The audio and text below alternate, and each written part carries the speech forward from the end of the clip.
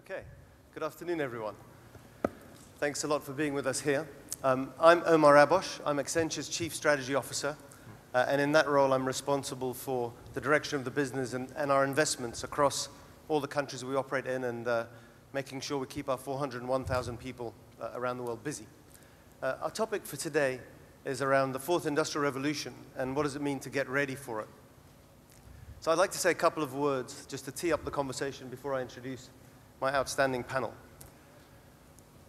So what is the fourth industrial revolution? You think about the arrival of digital technologies uh, and how they come and meet business and society. And so you'll talk about web and web interaction and mobility and analytics. But of course, the, the march of technology doesn't stop there. You then talk about the cloud and you talk about cybersecurity. Uh, you'll talk about blockchain. You'll talk about robots. You'll talk about drones. Uh, and probably we'll talk a lot about artificial intelligence. And the thing is, what happens when all of these technologies meet business, business models, business processes, business people, but also um, they meet roles and skills.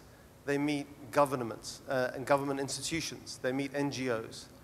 The effects of this wave of technology meeting society is pervasive if depending on who you are, it can be incredibly exciting, it can be awesome, uh, it can be disruptive. Uh, and that's the context with, with which we're talking about. So the question is, is so what's the big deal? I mean, why, why, why do we care? What's the opportunity? And of course, at the end of the day, it boils down to economic growth. Uh, and we know that economic growth is underpinned, sure, by labor and capital, but also productivity, or as economists like to call it, total, total factor productivity. And set in the context here in Latin America today, without um, calling out specific figures on specific countries, the last few years, at least since the Great Recession, productivity has been in negative territory, which means that all investments in labor and capital have somewhat been resulting in destroyed value on average across the place. So you say, well, why is that? And it turns out that you know, a country um, as strong as Brazil, with you know, in the top 10 economies of the world, maybe 70th in the productivity league. And so that's, that talks a little bit to the sorts of investments in technology and innovation. It talks for sure about innovation, uh, because you know, what underpins all of this economic progress, what underpins the fourth industrial revolution is exactly that, it's innovation. Uh, and when you look at country league tables on innovation relative to their economies, relative to sometimes very strong educational systems, you ask yourself why we're not getting the innovation that we should be getting. Uh, and that, uh, I think, is some of the things I'd like to stimulate in the conversation today. So, okay, so there's a big change coming. It has a big prize attached to it, potentially, in terms of overall wealth creation for society. But probably some things have to change. Now, the context in uh, Latin America that we can talk about where these changes are happening um, is, of course, very varied. You have uh, economies like the Argentinian economy that's going through a major pivot from a resource-dependent country to one that is more diversified. Uh, in the realm of politics, I think the conversation we can safely say is shifting majorly from left versus right to open versus closed. And so do countries want to be more connected and more involved in the global economy and global ecosystems or not? Uh, and, and of course, hanging over, you know, in the back of all these conversations about the march of technology or the industrial revolution uh, is a fear that many, many of us will hold about jobs and, and about what are the implications around social inclusion uh, in countries where maybe the, the starting point isn't as simple. And as we've already seen in, in the West, uh, people will point at globalization to explain Brexit and Trump, but in reality, the vast bulk of jobs lost have not come from globalization or strategic trade. They've come from displacement by technology. And so, in that context, what should leaders be doing? And so, I think the conversation that I'd like to tee up with my colleagues here today is all about what, what do leaders need to get right to bring on the, the fourth industrial revolution in the right way. I'm going to go and do a couple of questions with the panel. Then I'm going to come to the room, and I hope that we've got some mics running around so we can get your thoughts. And then we'll sum up. And I have a feeling that the time will be out faster than, than we know it. So let me just briefly introduce our panel uh, here today. So immediately on my left, I've got Brian Forde from MIT, uh, the Sloan Institute, where he's responsible for technology-related activities, particularly around cryptocurrencies and Bitcoin, and before that was an advisor at the White House. Uh, Marcos Galperin, uh, I don't need to introduce to most of you, as the founder and CEO of Mercado Libre, which has been a major change in terms of how retail is done uh, in this part of the world. Dimitri Diliani uh, runs Nokia and Nokia networks and Nokia services across Latin America. Uh, Pia Mancini, um, who uh, is local, uh, I, I, believe, is representing, if, if you like, some of the the, the NGO groups um, and is the chairman of, or the chairwoman of Democracy Earth and the founder of the Open Collective Group. Uh, and then finally, we have Ildefonso Guajardo Villarreal, who's the Minister of the Economy in Mexico. So in the panel you have here academia, NGO, government, and business, all represented, hopefully to set us up for a very good conversation. So the first question for the panel, and I'll sort of just go in this order, I think, starting with you, Brian, is what is it? What does it mean to you, this fourth industrial revolution, and what's the opportunity? Sure. Uh, like you, I've read a lot of articles about the fourth industrial revolution uh, and the future of work. And, and one quote that has stuck with me is, is by Sarah O'Connor, a journalist at the Financial Times. And she said, We're in the best time in our lives to be a consumer and one of the worst times in our lives to be a laborer. And what that means is you can click a button and have a car pull up in five minutes or less, but at the same time, that driver is facing consistently uh, lowering wages um, and will be replaced in five years by an autonomous vehicle. And so, what are we going to do about that? And how do we get the argument between a consumer and a laborer, which were both one and the same, from a win lose back to a win win. And so when I think about that, I think about uh, technology and all of the emerging technologies that are coming out, 10 to 15 of them as part of the fourth industrial revolution. And it's not really technology's uh, fault, it's an inanimate thing. It's how we build either our regulations or our business models around them and we can choose either a, I believe that the biggest factor about what's going to impact the economy and whether we decimate the working middle class or not will be whether we, we decide on uh, choosing a centralized or decentralized infrastructure for that. What I mean by that is we talk about, at least in the United States, how one of the biggest employers is truck driving. So we have 3 million people employ, uh, employed as truck drivers and we just assume that autonomous vehicles or autonomous trucks will decimate those 3 million jobs. But, my, but that is assuming a centralized role, that a large corporation will own those trucks, or that Uber or someone will own those trucks. But why can't we look at the other option and look at a more decentralized role? Why can't we find, as a government, ideas or incentives or financing so that the folks that are being put out of work could afford to own that truck and take part in some of the ownership of the future, ownership of the automation? Um, it may sound like a crazy idea, but other ideas being thrown out are maybe just as crazy as, as universal basic income and, and others. And so, you know, and if you're sitting there scratching your head about what is decentralized or what does centralized mean, my challenge to you as someone who worked in the White House and we were devastated by one of our policy goals where we didn't have enough technologists at the table is you need to have a technologist sitting right next to you as you make these decisions to understand the difference between decentralized and centralized. We need more technologists at the table, but we and we also need um, uh, more folks from uh, other parts of society at the technologist table um, as they're thinking through the disruptions of these technologies. Okay, thanks, Brian. Marcos. Hi. Uh, well, I think just to give a little bit of another perspective, you wanted some debate, so don't complain now. No, but I, I think as a society we are too scared about the negative consequences that this could have, and we are not. Uh, I think I'm afraid that that might uh, impede us from embracing the, all the benefits uh, that this change, uh, in my opinion, is going to bring. Uh, so, so I think that the, to me, the fourth industrial revolution is for the first time in the history of humanity having the entire world interconnected, where everybody can connect with everybody, at basically at cost zero, and that I think enables us to rethink everything, reimagine everything. Right now, what we are seeing is certain parts of the economy being reimagined, e-commerce, information, entertainment, and it's amazing to be a consumer in those spaces. But there are some, many more and interesting and important areas and industries uh, that should be rethought, like education, healthcare, finance, uh, to name to name just a few, and uh, and these should provide huge benefits to consumers as well. And today, the cost that societies are having in these industries is enormous.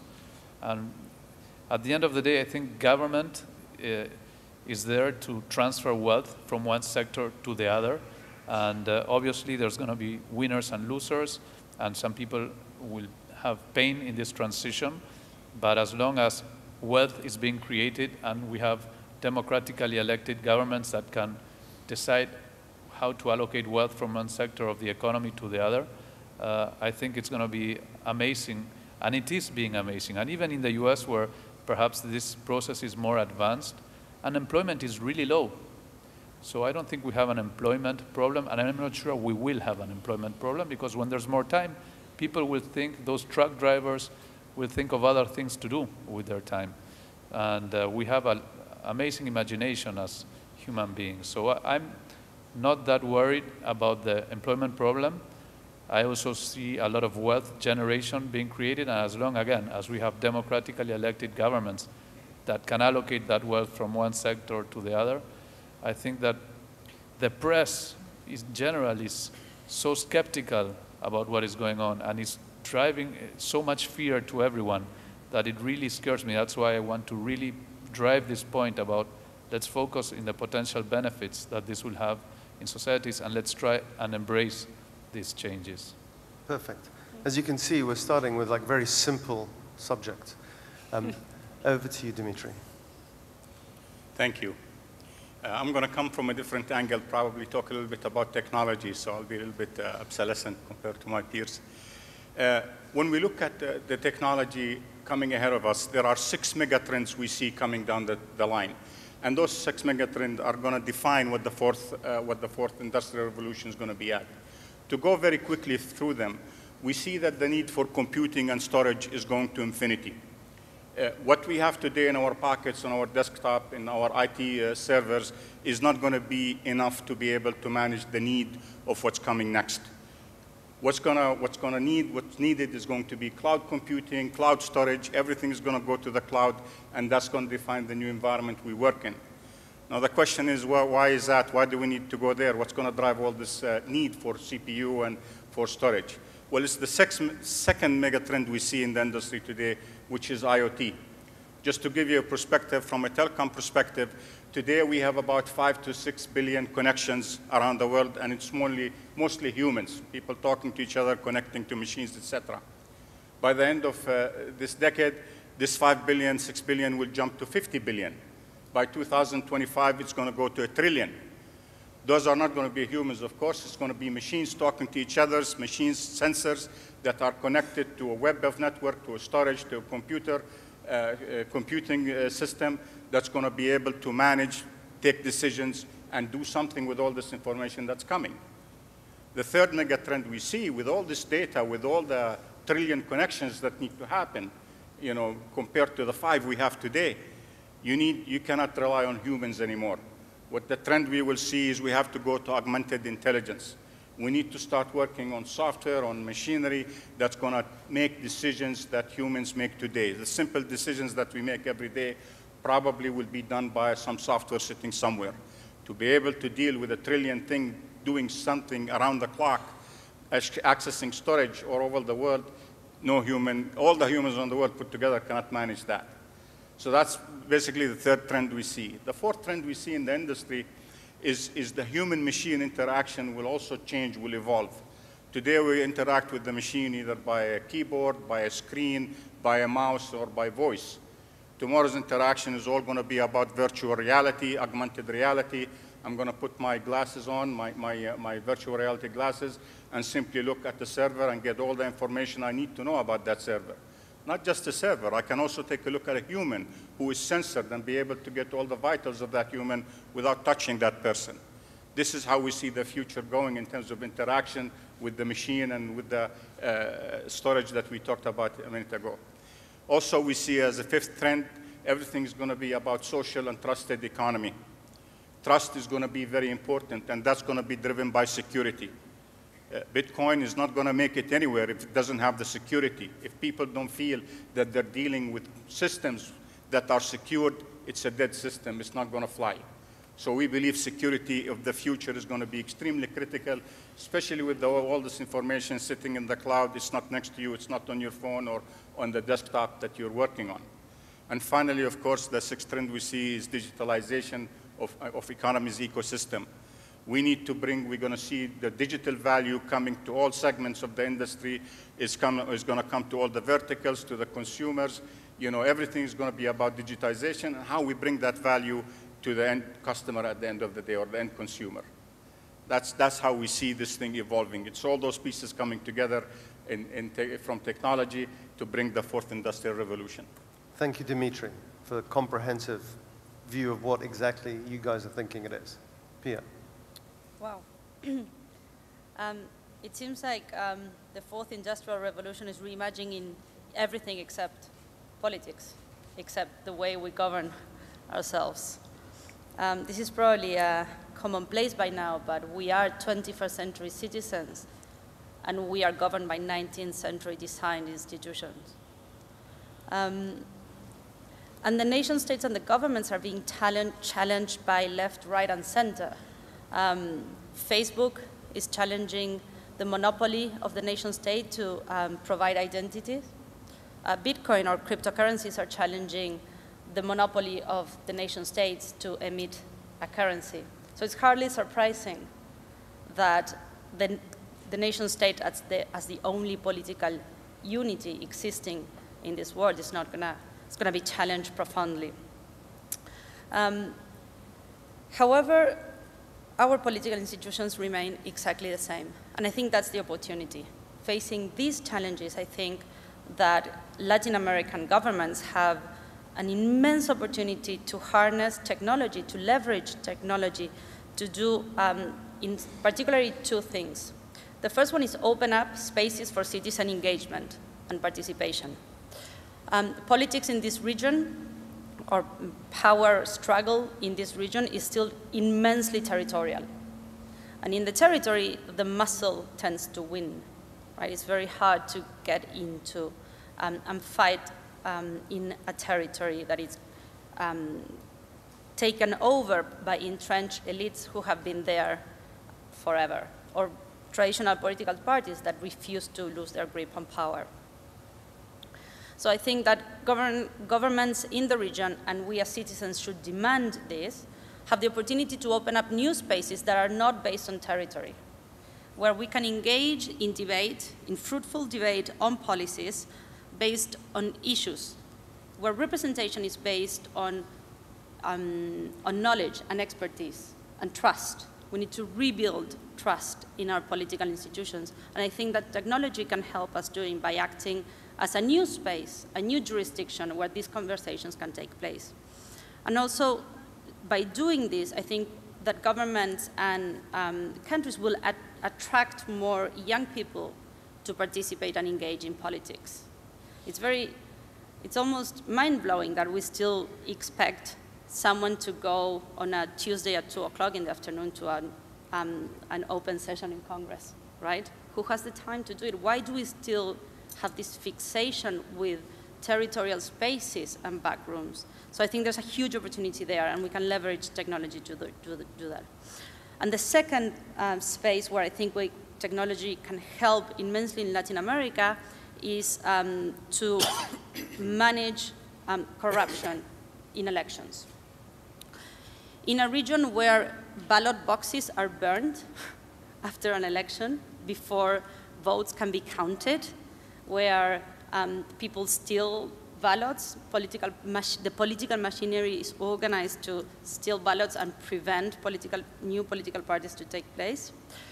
There's a huge opportunity to use a technology like the Bitcoin blockchain, for example, to make sure that our votes are incorruptible, that the votes that we cast are, are kept in a ledger that everyone shares and that no one can dispute. So if we talk about how we start rebuilding trust in our political institutions, how we start rebuilding trust in society, we need to tackle the issue of corruption. And we can certainly use amazing technology that exists today to do that. So, from, we're going to tear down the territory of the nation state and go to the nation state. Ildefonso, your, your perspective. Chan? Well, I, will uh, I'll first start by agreeing with Pia in terms of uh, for, uh, for governments, there is definitely a big opportunity coming with industrial revolution. Because if you look in the history of the world, when we had the first, the second, and the third industrial revolution, there was a tremendous lag of catch up between nations of different level of development. I mean, go back to the first industrial revolution. I mean, the rest of the world, developing nations, took them 100 years to catch up with the developments. Now, what we have at our hand today is a disruptive possibility where we can catch up faster if the national states are ready to do and to make the right decisions. But uh, that implies that you have to have a set of policies that will favor the change, that will give a great impulse to this change. Give you a couple of examples. Uh, antitrust laws. Some of our countries were really lag in time. Mexico, for instance, introduced the first antitrust laws in 1992, 100 years later than the US had their own, their own act uh, uh, back in history. Now, it took us 20 years later to improve it and strengthen it. If you don't have real competition in markets, innovation stops. Rent seekers capture the windfall of the economy, and nothing really happens in terms of innovation. So at the end of the day, you have to be very strict in terms of patent laws, competition, and really to deregulate the economy and, and really strengthen the educational system. Otherwise, the fourth industrial revolution is going to pass by the side and you will not capitalize on it. Now, being, that being said, also the other challenge is the social sustainability of change. I think that uh, it was uh, uh, my friend Marcos that mentioned that society is uh, too much afraid of change and uh, probably we are exaggerating uh, the damage of the velocity of change. I mean, probably I agree that, uh, that always change is, is, going to be for the good. But what we see in the sustainability process, look at Brexit, look at the US election, societies obviously are being hurt by change. and the problem is that society in the 20th century, organized through corporate organizations like unions, chambers, that have a political voice. Now, the winners of change are there, but they, they are not organized to express themselves. So in the political balance, we have to be very mindful of what is the final outcome of the social debate, because we have to have the strength to really encourage and support the velocity of change. Otherwise, we are going to fail in the political process. And believe me, I had had a discussion at the beginning of the year of one leader in North America telling a US company to move 700 jobs from my hometown of Monterrey to the US because he wants to bring back manufacturing jobs. Now, at the end of the discussion, the US loses 75,000 jobs a day. So 700 jobs is nothing in terms of public policy making. But the worst is that those jobs will not exist in five or 10 years. So rather than discussing about manufacturing jobs of today, we should be teaming up nations to design the future of technology and how we are going to cope with the new challenges of job creation in a different type of society. So that's within the process of adjusting public policy to the challenges.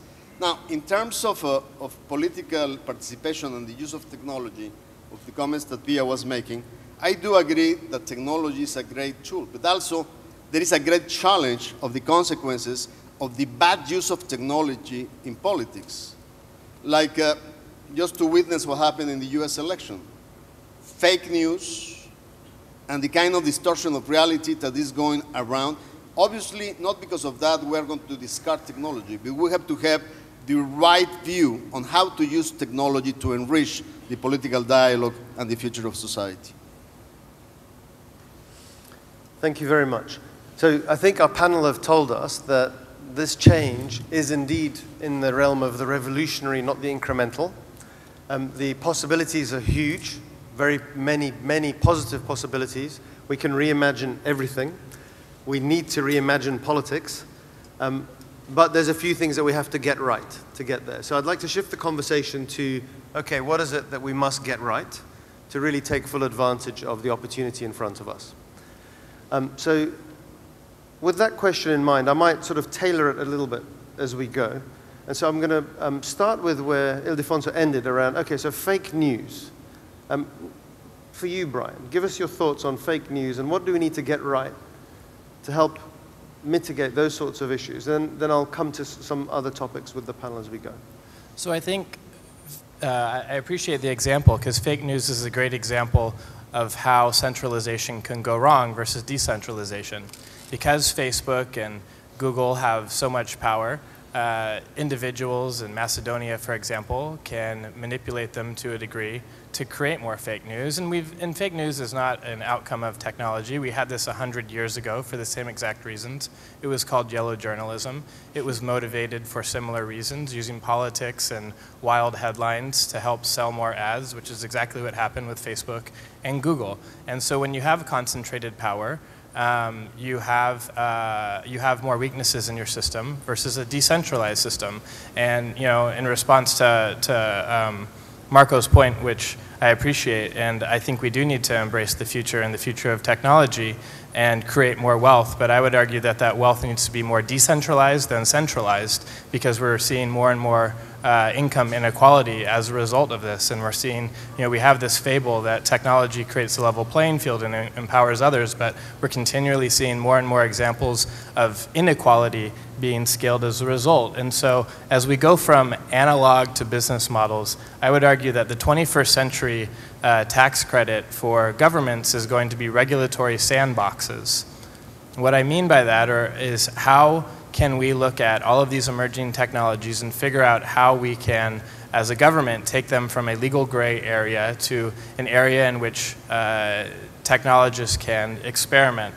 Um, you know, I'll give you an example that happened in my home state of California. So Uber uh, unleashed their autonomous vehicles in the state of California. The Department of Motor Vehicles said, you do not have the right permits to do this. They didn't have the right regulatory structure in place. And so the governor of Arizona said, uh, we welcome you to come to our state.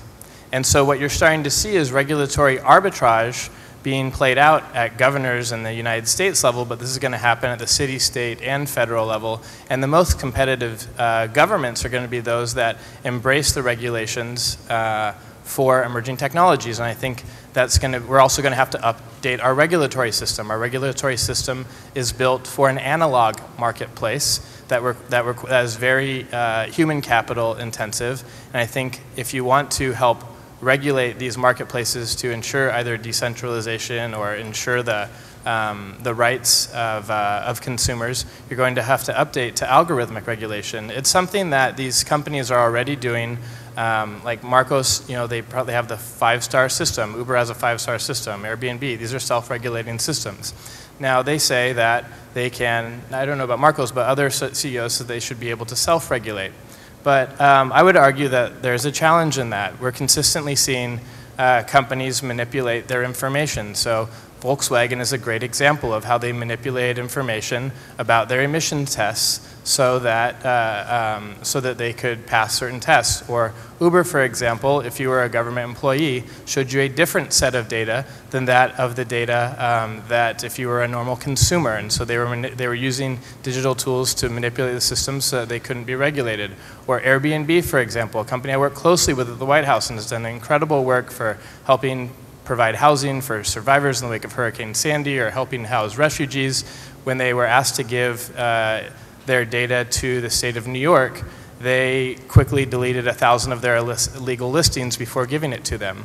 And so uh, I would argue that we need to come up with, we need to allow consumers and new businesses to not have to downgrade their systems to be uh, lightly regulated by government. We should create the algorithmic, algorithmic regulatory systems that allow them to move as fast as they should while also protecting the rights of, of consumers.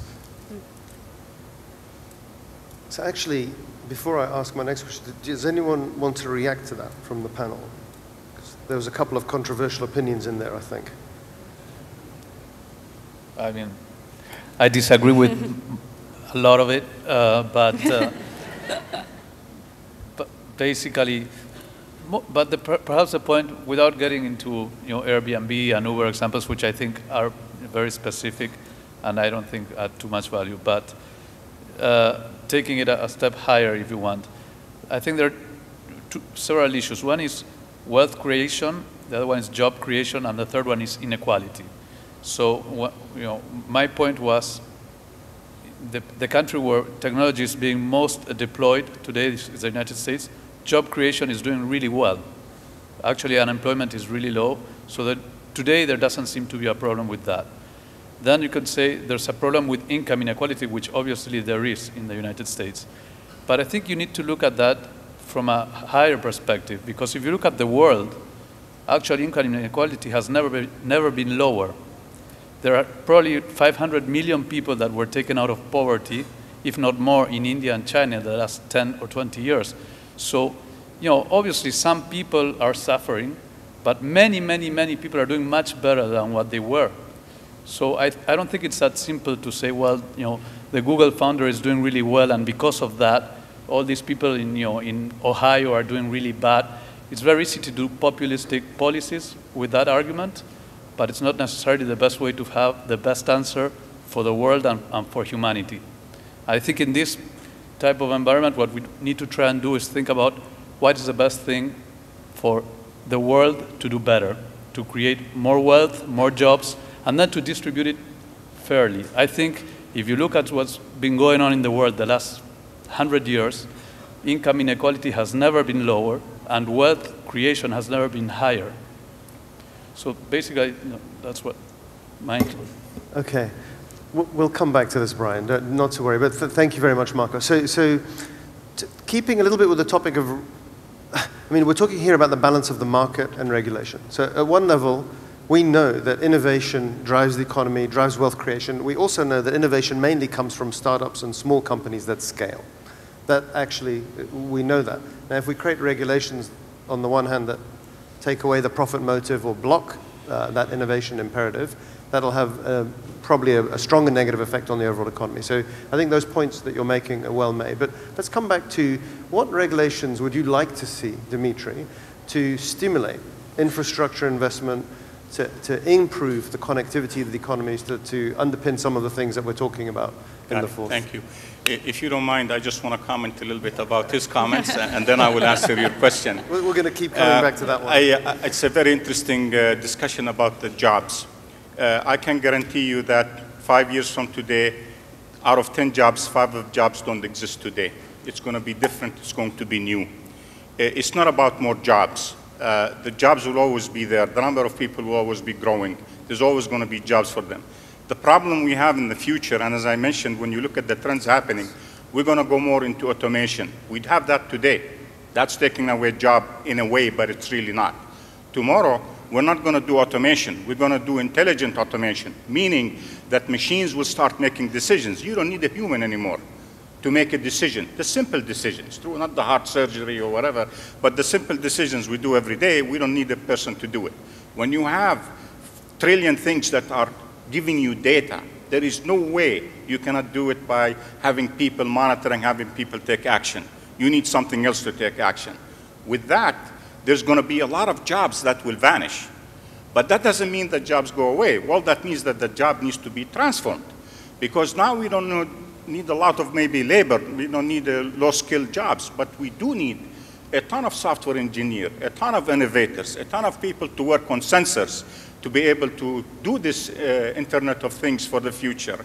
So there has to be a transformation in the job industry today, and that's not going to be driven by you know uh, policies or what have you.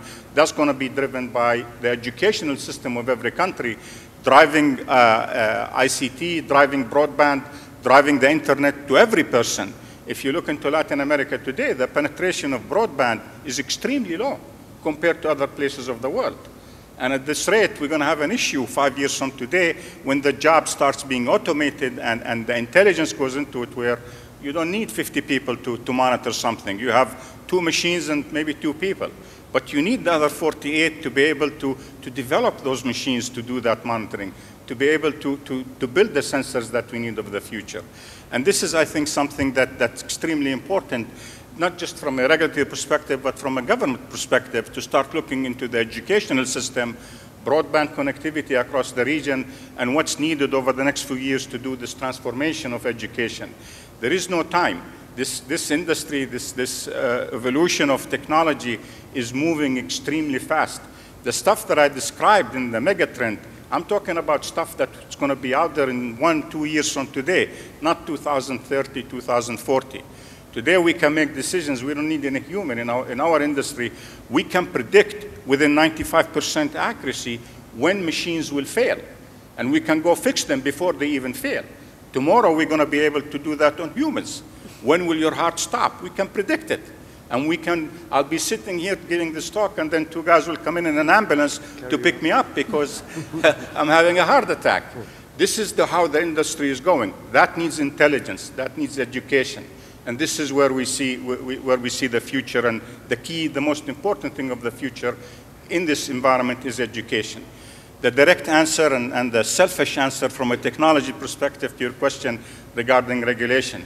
Everything I described is going to be based on wireless technology. It's all going to be sensors sitting either on our bodies, on our machines, everywhere.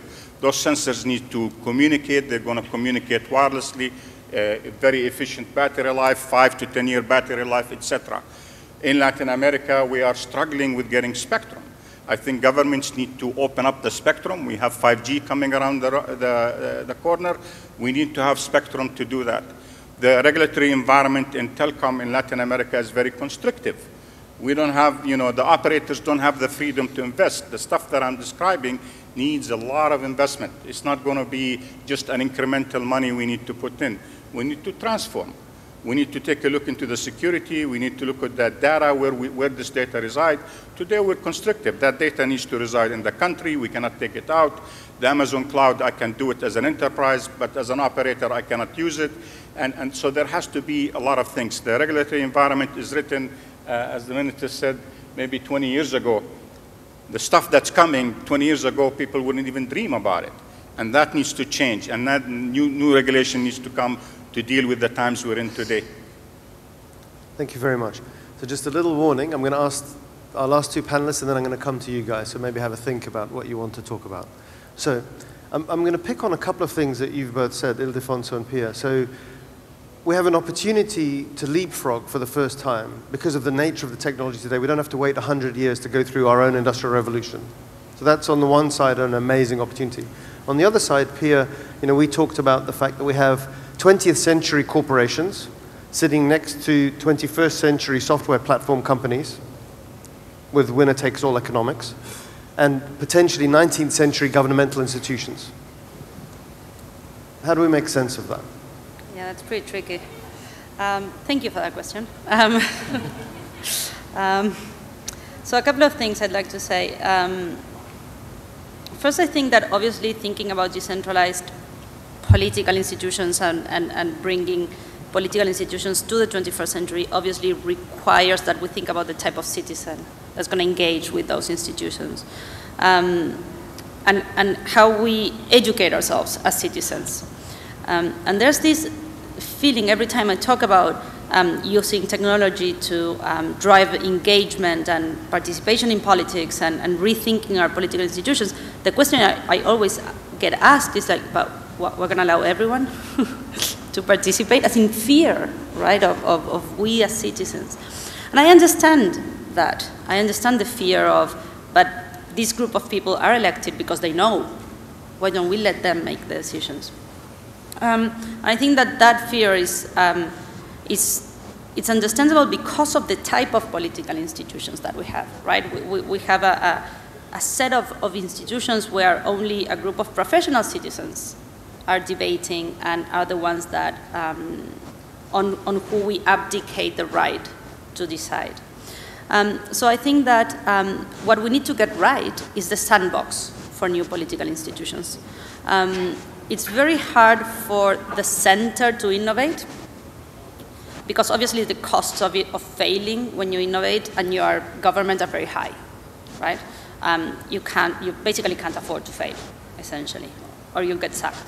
So, um, so I think that what we need to get right is how we enable for innovation to happen at the fringes, right? How we enable for a sandbox of um, new ways of making decisions, of new ways of engaging citizens, of new ways of rethinking how we govern ourselves can happen at the same time that we keep the existing political institutions as they are. Um, because that's the only way where we are really going to do two things. We're going to innovate, and B, we're going to learn. We need to be able to fail in order to learn. Um, so one concrete example is, why don't we grab, for example, one a, a, a, a, a certain topic, a certain issue, and instead of using the traditional representation channels that are vertical, right, we, we, we uh, give onto a group of people our right to make a decision for very long periods of time, and the basis on, based on where we happen to be living at or where we're born. I'm represented by Argentina on climate change talks. What if I'd rather be represented by the delegate of Costa Rica, that I think they have a really good and very interesting um, progressive energy policy? I can't. Why? Well, because you're Argentinian. That doesn't really make a lot of sense in the 21st century. So how we start um, opening up these spaces and creating a sandbox for us to engage in different ways, to allocate our trust and, and representation different, I think it's, uh, it's the, the way of learning. And as Dimitri was saying, like we can use VR, we can use um, the cloud, we, have, we can have um, a panel of randomly selected citizens, for example, having conversations with the foremost experts in the world on a certain topic. Why are these citizens not capable of reaching an informed and just and fair decision? Um, so I don't know where I'm okay. where I was going with all of this, but I think that that um, is what we need to get right. And if you just allow me one more minute, the other thing that we really need to get right, um, from what Dimitri was saying, is the data management of all of this. Who owns this data? Right? We're talking about sensors. We're talking about um, Wi-Fi devices, everything. You know, who manages? Who owns this? Who manages this? Is this my data? Is this Nokia's data? Can they take it? Who are they going to sell it? Is it okay for? Is it fair for them to use it? Is it fair for for a company to make money on our data and I'm not, for example? Anyway, I think the data management and algorithmic accountability is something else that we definitely need to get right. Okay. Again, no lack of issues. Um, you know, the, uh, the internet, the digital era, to some extent has expanded the boundaries of how business operates, you know, across national territories. You want to um, push political uh, accountability and responsibility perhaps beyond territorial, territorial uh, boundaries. I have zero clue how to do that, but, but, I, but, but I think uh, very challenging thoughts. Ildefonso, if the assertion is right about, let's say, the, the maturity of, of governmental institutions, what, what can they do, like a couple of things that would really make a difference to accelerate the, the change and, and the improvement in the economy that we're talking about? Well, well first, uh, just sharing with Pia that uh, she can always think that uh, she's in a better position about uh, being represented by Argentina in, in, in, environmental issues. Imagine you were a U.S. citizen and you were represented by the new administration on climate change. I wouldn't be very happy. But, uh, but anyway, so let me, let me try to make a, a case for, for the need for the government to be deeply involved in this, uh, in this uh, chan- changing process. I will say that uh, I agree with Dimitri. The first and foremost responsibility is the transformation of the educational system. I mean, that's the core of the whole challenge in terms of the velocity of change and the capacity to respond. Give you an example. Mexico, at the end of the 20th century, became a very strong country for manufacturing. We are graduating about 100,000 engineers a year. But today, the type of manufacturing where we were really champions is changing at a very, very high velocity.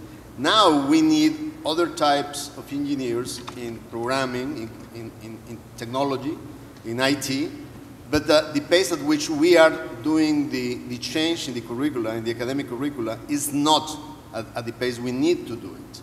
And so there is a very high risk that we are going to have a missing link, generationally speaking, in the, in the new challenges that we have to educate the Mexicans for the 21st century.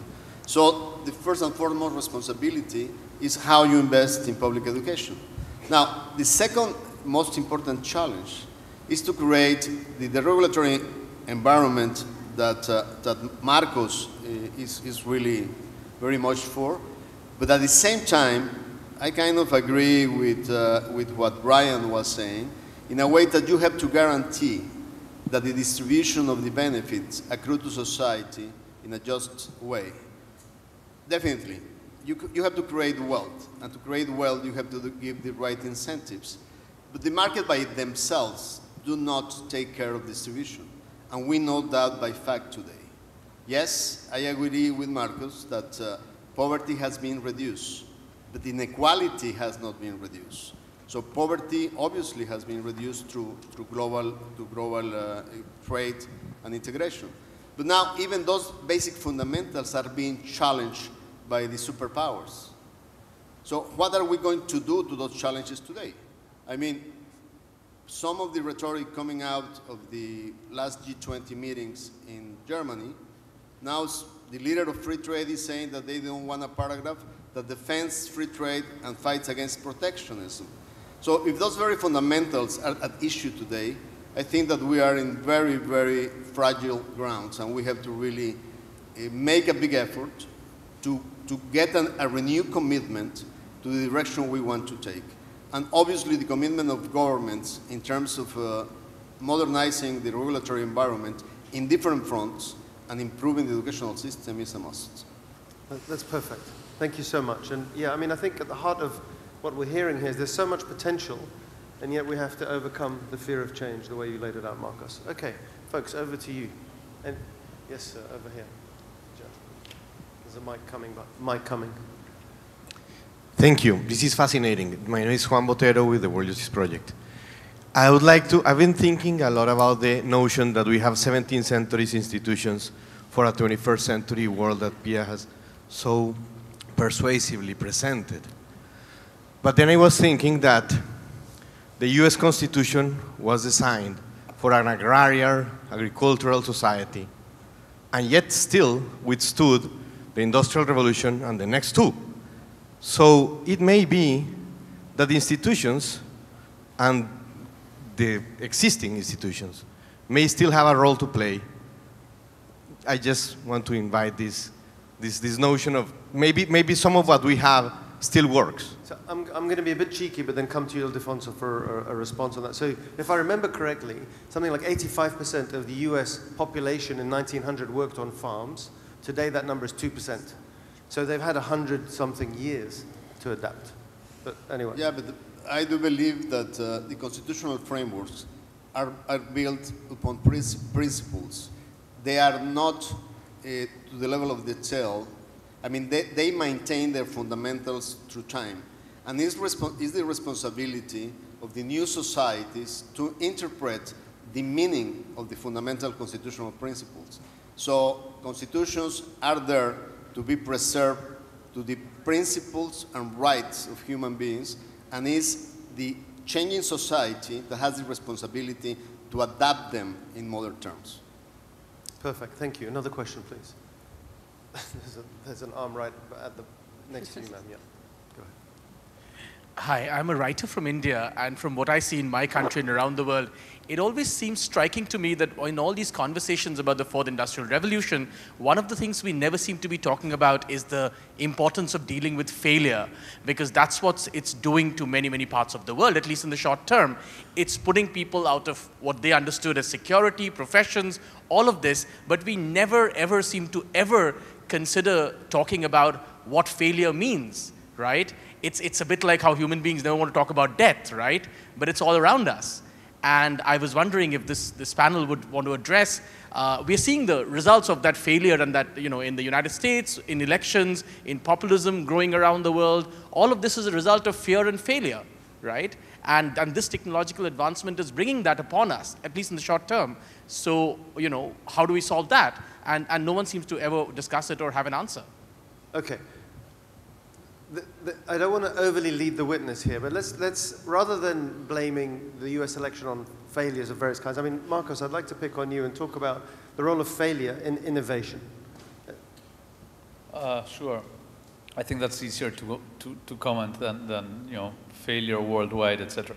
You know, one of the things that I, I liked a lot actually about what Pia was saying is we need to provide a framework where government can fail because I think part of this enormous fear to change that I see from the press and from you know, government and from everyone is the fear of failure.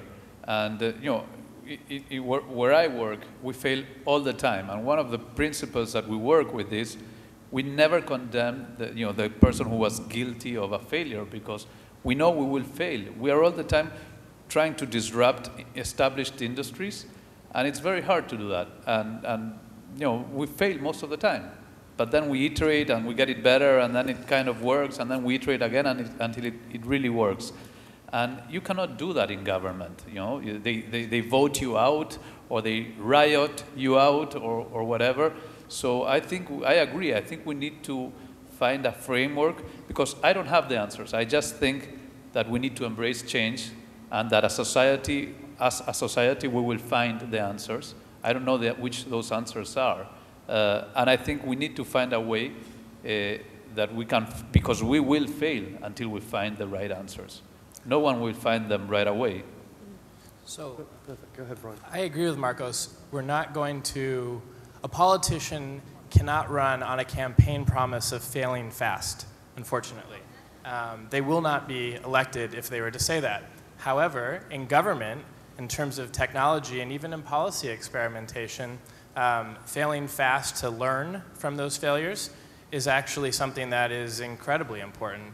And I think that can most happen realistically at the city level, um, because at the city level of government, you see the quickest response, whereas at the federal level, you have uh, kind of like a year's time lag to see the response. So, and, and we're seeing cities not only across America, but in Mexico and uh, throughout Europe, whose uh, mayors are creating uh, beta type tech shops, and they put the beta logo on their work um, to, uh, to be able to accomplish that.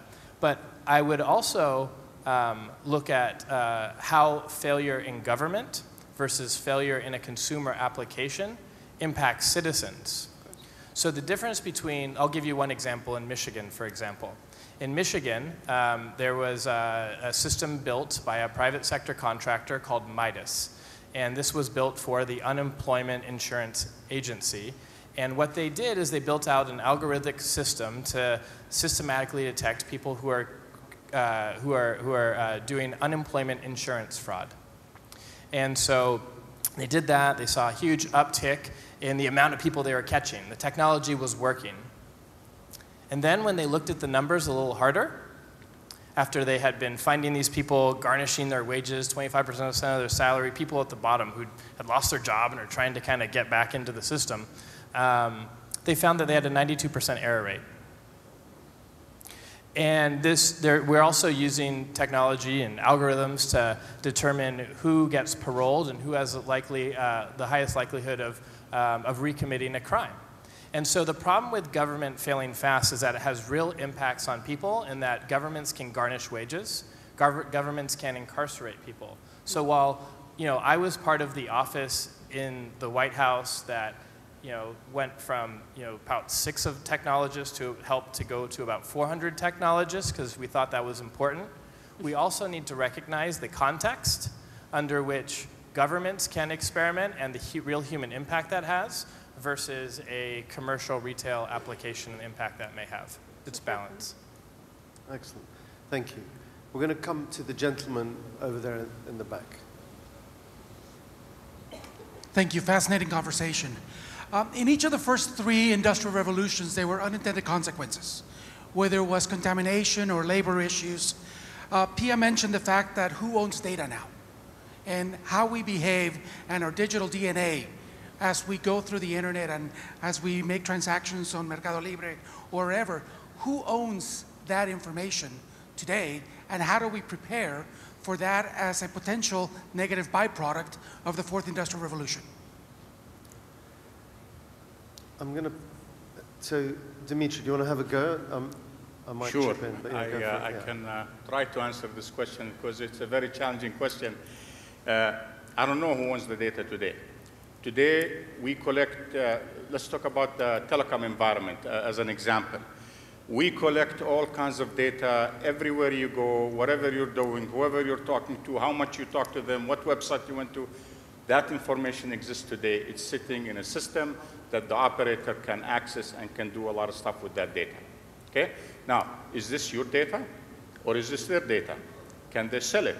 Can they provide it to somebody else? Well, let's have this discussion. Let me tell you, let me give you an example where let's not talk about the device, let's talk about sensors. I'm going to put on your heart, on your body, in your t-shirt that's collecting data about your health 24-7. That data is going to go to a server somewhere in the cloud. Some algorithm analytics will take a look at the data, will establish a history of you, and then when we see uh, uh, something abnormal, a wrong heartbeat or what have you, we send you an ambulance, not call you, but send you an ambulance. Who do you want to have that data? Are you willing to just keep it to yourself? Do you want the doctor to have it? Do you want the machine to have it? It can be anywhere. This is a life-threatening example where, in my, you know, if it's me, I don't mind having that data sitting in a server somewhere, the machine making that decision, and then a doctor is being called or an ambulance. The data sometimes may not have to be owned by an operator or a human or a government.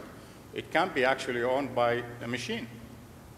I mean, this is how we see the future going, where it doesn't have to be the operator know exactly which websites you're going. The machine will know, they may, it may send you advertisement, it may do whatever it wants to do with you. I believe the industry will go into that direction because then it's neutral. It's not a, an individual, it's not a government, it's not a human. Okay? That's our vision of where the data will be. But privacy is, is a huge issue in our industry, very huge issue, and it's not resolved today.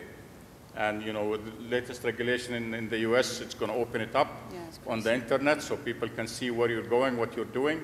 In other places of the world, that's not legal. So, i i you know, it, it's still a debatable item. There is no answer to your question. But we believe it's not going to be humans at the end of the day or governments. So the clock here is almost timing us out. I'm going to squeeze one last one in, but ma'am, if you don't mind, if you can be quite quick with the question. Yeah, but if we can give the...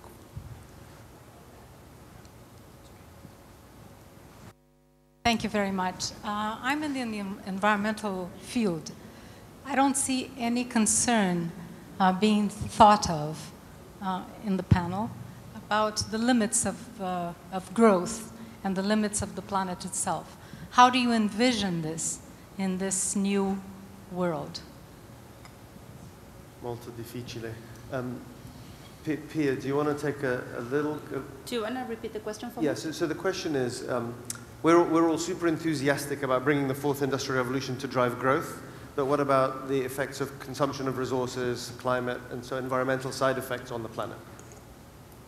Um, well, yes, I think there are huge concerns. I'm not sure what the question is. Any, in any case, I think we should be extremely alert about the, the consequences on, and, and the concerns um, of new technology and how we're using resources and water resources and the electricity cost of Bitcoin, on all of that, I think it definitely needs to be addressed. Um, yeah.